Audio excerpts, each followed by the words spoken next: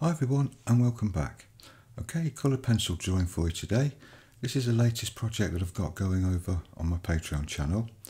Um, it's of a Cotswold village called Snowshill and I'm using my 60 set of polychromos for this.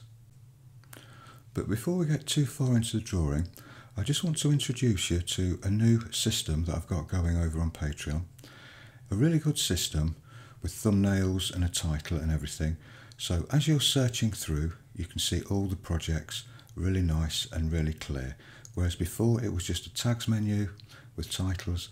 Now you can see each individual project and know exactly what media it's in and find it really quickly and search through all the other projects as well.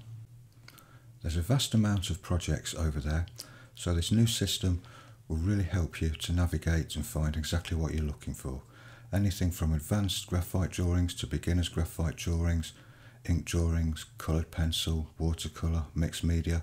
There's lots of other sections there too for drawing tips, vlogs, Q&As, there's all sorts over there. Um, and it should be really easy for you to find now. So for those of you that have been on Patreon before, I think you'll agree that this new system is way better than the old system. Okay, so enjoy the rest of the drawing. Thanks very much for viewing. Take care everyone, and I'll see you in the next one. Bye for now.